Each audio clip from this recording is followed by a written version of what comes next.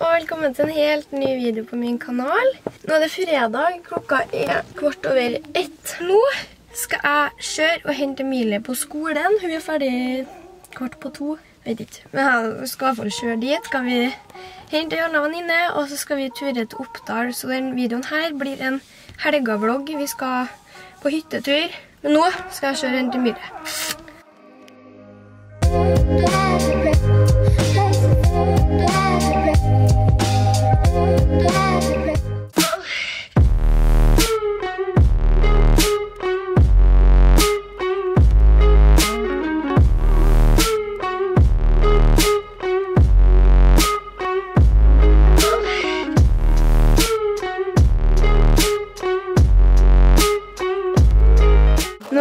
Oss frem til hytten. Sjokoladen skal i kjøleskapet. Nei. Jo, den skal det. Uaktuelt. De må i hvert fall ta ene i kjøleskapet. De blir rette posene. Det var dritfint her. Skikkelig fin utsikt. Og nå er det jævlig fint vær. Eller det er veldig fint her med meg. Nå skal vi lage middag. Hva står på menyen i dag? Taco. Taco.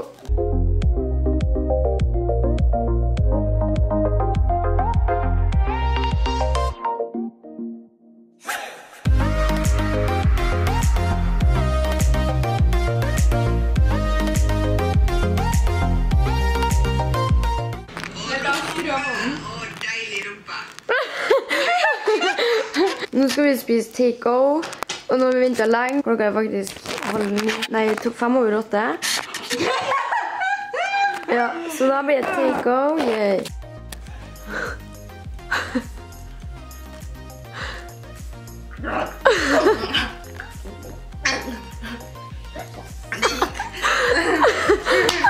Henger det?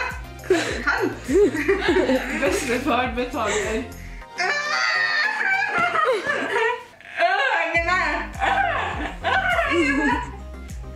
Gung, henger det? Henger det? Har du Ikke hørt? Ok, klokka er nå to over ett. Oi, der. Fordi det begynner å bli sint og trøtt og sånn. Hjelp deg å lukke låsen. Ja. Ja. Så da sier jeg da. Ja, nå har jeg stått opp. Emilie har også stått opp. Eh, klokka er halv elleve. Eh, jeg og Helene sovna rundt fire, så jeg er egentlig imponert. Serr? Ja, vi lå våken kjempelenge. Og, ja, nei, vi sovna fire, så jeg er imponert over at jeg faktisk våkna såpass tidlig. Men i hvert fall planen nå er å ta en liten treningsøkt her på stuegulvet. Dere hører, så ikke stemmen min helt på topp. Så nå tenker jeg bare jeg skal vise dere litt eh, rumpeøvelser som man kan gjøre hjemme med sånn strikk.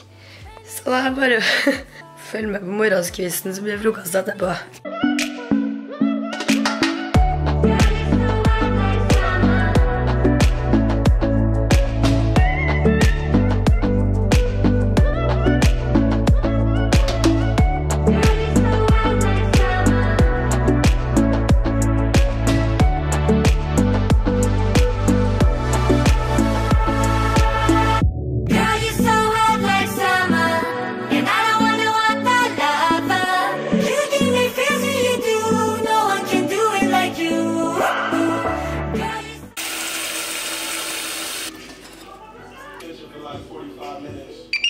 Oi.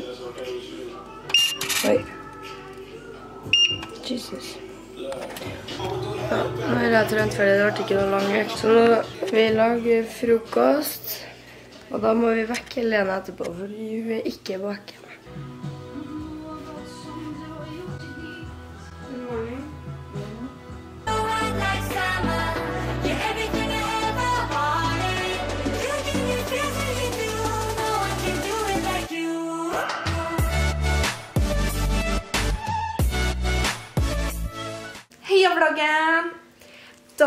Er det dårlig vær, og det var meldt sol. Ja, eh, så da skal vi til sentrum. Ja. Kjør da. Men før vi drar til sentrum, så skal vi speide på gutta. Bli med ut da. Oh, da var det sjekking. Men nå er det ikke sol. Vi skulle jo ha sol, vi. Ja, nå kommer jeg selv. Hvordan bæsj hadde du? Mille, samme den eller den? Emilie, Nei, vent, du må svare på hvordan bæsj du hadde nå. vet du hva? Vent da. Den eller den? Her er bæsjene. Hvordan bæsj hadde du? Nei, det vet ikke jeg. ikke. Du, tenker maisbæsjen du spiste taco i går. Men jeg sjekka ikke. Hvordan så ut selv? Hun hadde maisbæsjen. Den. Den, Tortekar i tråd. yes. Det ble ikke ferdig tråd. Jeg vlogget litt for deg, vi. Jeg Har du det. satt pris på det? Ja, ja. Jeg har speidet på August. Han også. Ja, og fin, ja. Ja. ja. Vi har kjøpt gave fordi vi skal gi som takk for at vi får en gave.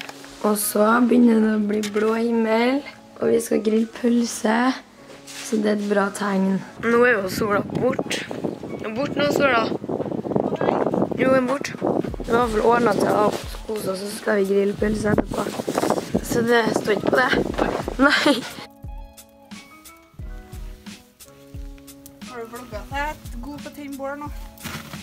Nei, jeg holder på nå. Det er du som ordna det. Jeg er flink, Emilie. Ja, det er bra. Oi, dæven. Nå snør det.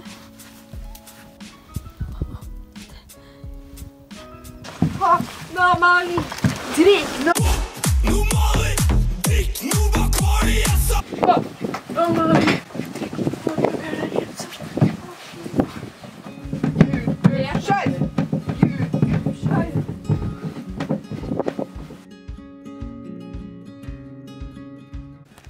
Ok, herregud. Klokka er kvart over åtte, og etter vi hadde spist pølse, som de holder på med nå, så sovna vi. Jeg sovna her, og de sovna på hvert sitt rom. Vi slitna av hverandre, sier. Ja, så nå har vi sovet i en og en halv time. Har vi en plan? Vi skal dra og se på stefaren min synge på skifer. Ja. Ja. Det har vært ikke noe alkohol på sjangen. Nei, så ble det ikke noe alkohol på meg i dag, men det er like greit. da, kanskje. Vi burde ha begynt å hive oss rundt litt, men er litt daff etter å ha sovet halve kvelden. Litt. Vi burde dusje oss bål. Ja, vi burde ha dusja og gjort, ja. Jeg orker ikke. Nei, jeg orker ikke jeg heller. Ja, altså, sånn ble det i, kveld. Da er vi klar. Bli med på vloggen. Skifer. Det er til saksa igjen nå. Den er på vet ikke. Syns du ikke er flink til å vlogge for deg? Jo. Ja. For at Charlotte er dårlig til å vlogge. Nei da, hun er kjempeflink.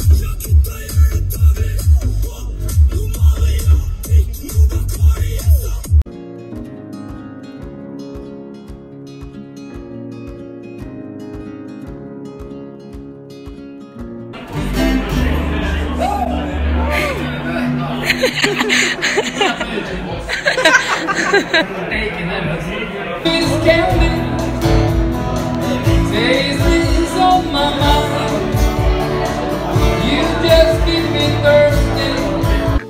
er klokka ett snart, og vi har akkurat kommet hjem. Vi sto... Oi! Det her står jeg i BH-en. Skal fyre opp i peisen, for det er kaldt. Det har vært en koselig kveld med litt utfordringer her og der, men bortsett fra det har det vært greit. Vi er enige, eller? Ja. Syns det har vært koselig, Emilie?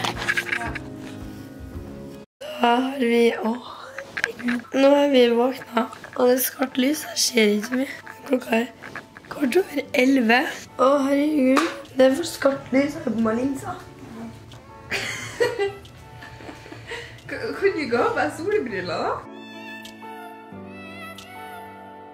Nå har vi skrevet i hytteboka, og så har vi sittet gaven og et bilde og den der foran, som takk for at vi får låne hytta.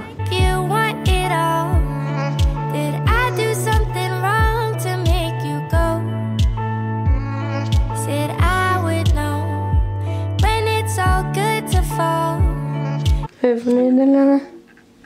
Har ikke sett det sjøl ennå, men det Nei, det er sant, det. det er helt sikkert. Jeg har klippet av litt, da. Så da, så da vi, har vi gjort det. Nå har vi i hvert fall eh, pakka sammen tingene våre. Støvsuga og vaska litt sånn der. Og hva er det som er galt med min? Ja, den er bare krølla som helvete. Ja. Vi er snart ready to go. Så skal vi kjøre til Trondheim. Ja. Da har jeg kommet meg hjem fra Oppdal. Jeg kjørte hjem med Milo og Helene. Og så, når jeg kom hjem, så jogga jeg meg en liten tur, og så har jeg dusja. Så mamma laga middag til meg. Så nå skal jeg bare slappe av resten av kvelden. Og jeg syns denne helga har vært utrolig koselig. Og jeg håper dere også syns videoen her var veldig koselig.